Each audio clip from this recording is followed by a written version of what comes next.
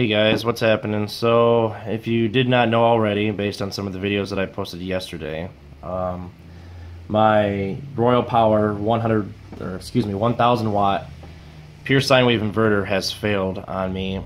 The reason of failure is unknown. Um, I was quite literally sitting on the couch and I did not have that large of a draw on it, and I heard it pop.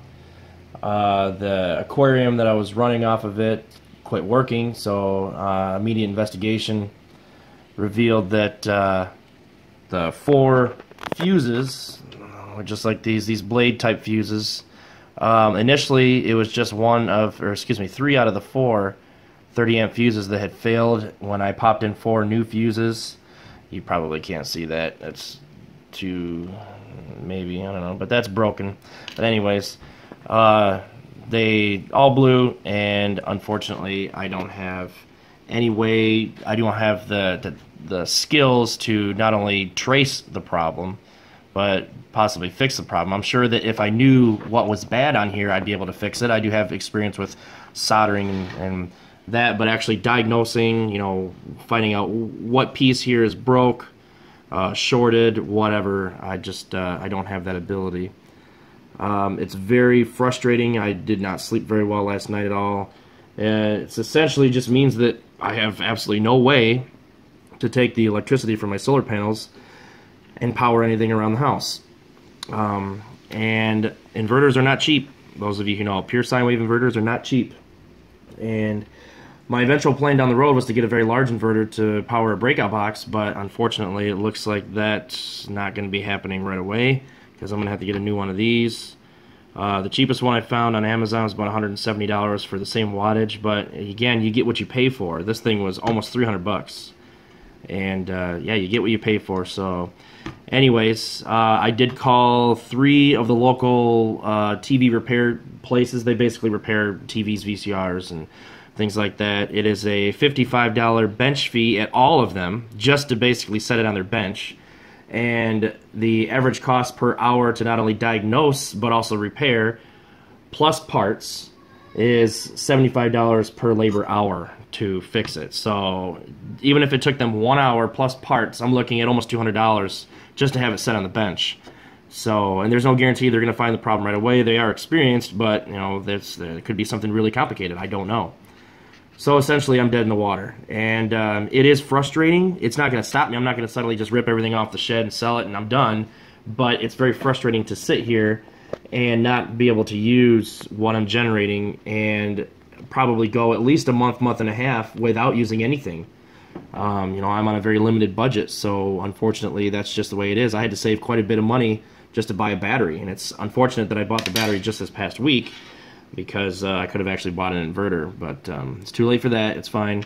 Um, so yeah. Anyways, you know, if anybody, I've got just a standard, you know, multimeter here. If anybody has any tips, I did some internet research. I tried to look for the most common issues. Um, basically, as soon as I apply 12 volts to the input, it pops and it blows at least three out of the four fuses these blade type fuses that are in here. I get nothing. So the fuses are popped. Um, I don't know if you can see that or not, but there's one fuse right there, one blade fuse.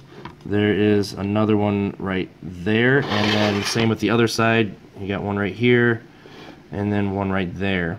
They're all right near the inputs on the DC 12 volt side. So I don't know if it's something that it's going through and then hitting a wall and just exploding from there. I'm not really sure. I'm not very good at tracing these kinds of problems. If it was obvious, like one of these was, uh, you know, puffed out or something, then I probably would have a better time. But you know, it could be one of these MOSFETs is is blown. Um, you know, it could be anything. I mean, really, it could be anything, and I have no technical skills to be able to repair something like this. So, unfortunately, yeah. But if anybody has any tips, if there's something that I can test, I got my multimeter here. And uh, it's always nice when people drive by real slow and look at your windows. Anyways, uh, I got my multimeter here. And uh, so, I mean, if there's anything basic that I can test for, you guys can see the multimeter. If there's something that stands out to you in this video, that you see is like, oh my god, you know, look at that, and you know that could be the culprit or, or whatever. I mean, it could be these transformers for all I know, but I don't know how the failure rate is on these.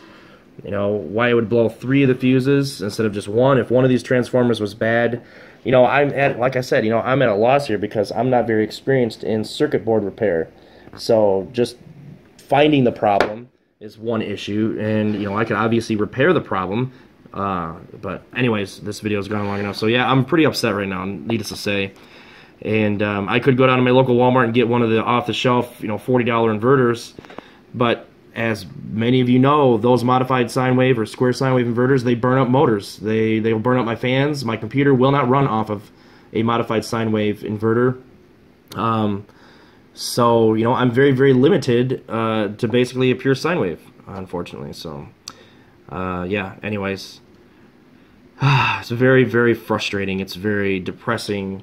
I will definitely keep pushing on, but this is not something that I had expected would happen. So, all right, guys. Well, if you have any suggestions or anything else like that, please feel free to post your comments because I, if I can get away with repairing this, then that's obviously what I'm going to do. But it sounds like to me I'm going to have to buy a whole new inverter.